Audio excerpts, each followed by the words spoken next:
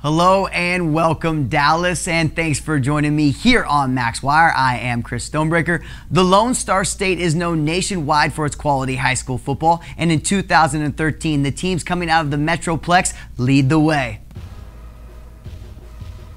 The usual suspects are back and prime for another state championship run. Euless Trinity and Southlake Carroll both are looking to do what Allen did last year by winning the 5A Division 1 state championship. But if Allen has anything to say about it, that will be a very difficult task as Allen comes into the 2013 season ranked number 4 in the nation by MaxPreps.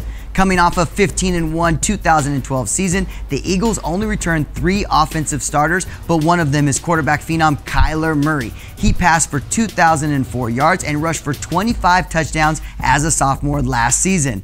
Allen might be the early favorite, but DeSoto and Coppell also appear in the preseason top 25. DeSoto comes into the season ranked number 15 nationally after they raced to a 14 0 start last season, where it all came to an end in a memorable 51 36 loss to Allen in the Class 5A Division 1 semifinals. The unfulfilled quest for the state title should have the same, if not better, shot at happening this season. Head coach Claude Mathis believes his defensive line will be the program's best ever. It features junior Bryce English, already committed to Texas, as well as Shaquille Jackson and Jonathan Graham, all of whom started last season.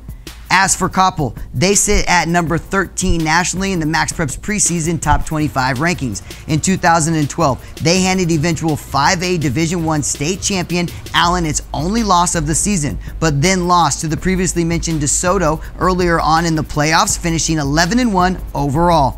Coppell returns its offensive line, two important playmakers, and most of its defense, including its best player overall in Solomon Thomas. The Cowboys' September 27th road game against Allen will be one of the biggest games in the Dallas Fort Worth Metroplex this season.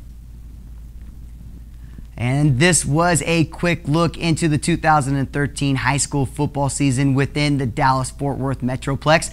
Be on the lookout for Skyline, Cedar Hill, and Arlington Bowie to also be strong contenders. I am Chris Stonebreaker. This was MaxWire, and thanks for clicking in to maxpreps.com, America's source for high school sports.